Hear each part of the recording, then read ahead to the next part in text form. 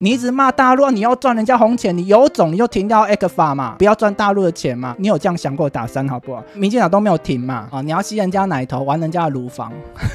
没有啦，就是你懂我意思吗？就是吸人家的奶水，还要玩弄人家的情感。那我们反过来想哦，你们有没有想过，为什么大陆不要停掉 X 法？你们有没有想过，民进党骂大陆又不敢要停掉 X 法，是他们乐色没有错，小人嘛，你要赚人家钱，你要骂人家。可是你有没有反过来，为什么大陆不主动停掉 X 法？SZU 岛内三十块，就是念在一家人才让利给你。SZU 就讲对了，想要和平统一自己人，对，意思就说，其实一他们现在的武力，依他们现在的经济的方式，早就可以用强行的方式赶人处理。重点是，他们现在所用的方式都是在对付民进党这个乐色而已。但是他们想要的是，他们想要收服台湾人民的心呐，都是华人呐。他们统一的这个都没有变，他们一直都想要统一我们。但是他们如果真的这样做的话，会破坏我们华人之间的情感。但是民进党有念在这件事情吗？民进党只念在要选票而已呀，这是一个说法。但是我们台湾不想要被人管，这是另外一回事。但是人家为什么不这样做？为什么不要主动停掉 X 法？他们的说法是这样子。跟你讲，我说真的，我也不是要说怎样之类的，因为大陆确实有在某一些方式在打压我们。但是我觉得真的被民进党一直恶搞下去，我真的有时候我真会动摇那种心，你知道吗？因为你是看看别人，再想想自己。当然，我们都是想要过一好一点的日子，我们不想要我们的话题都是子女要当兵当久一点，我们的子女上班上到一半要去教招，我们不想要话题是这样的。我们的想要的话题是我们台湾的新台币拿出去是很好花的，不管去拿到香港、新加坡或者是日本，那个钱都是很好花的，而不是我们这边赚的这边的钱，一个月可能三四万的薪水，然后去到别的国家，好几辆的开了了，你懂我意思吗？你这种是国家抢跟不抢差别就在这边呢。人数来到一千三，我真的很舍不得喝酒哎，要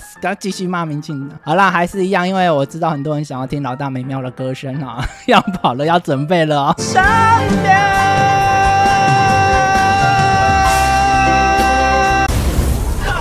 你好，我是张老大，喜欢我的评论吗？赶快搜寻 YouTube 张老大来订阅哦！而且我们每周一至周四晚上十点都会现场直播，快点加入我们张老大频道吧！